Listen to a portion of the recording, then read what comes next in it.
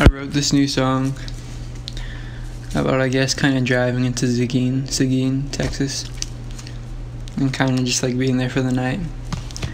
And uh, it's not all just about Seguin, I guess, because I just talk about my feelings too and how I feel sometimes.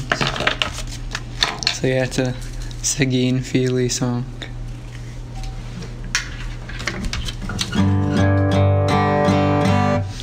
I don't know what the title should be. I think I'm gonna title it. Hmm.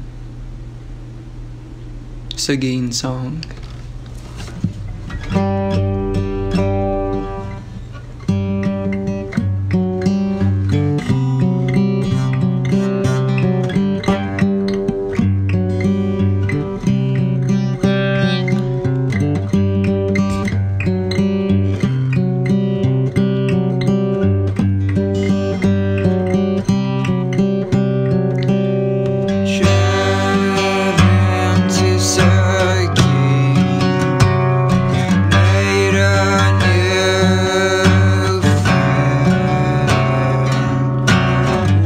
To the Dairy Queen,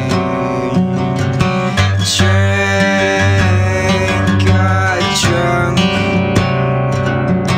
stayed up till like four. Don't wanna sleep. Haven't had a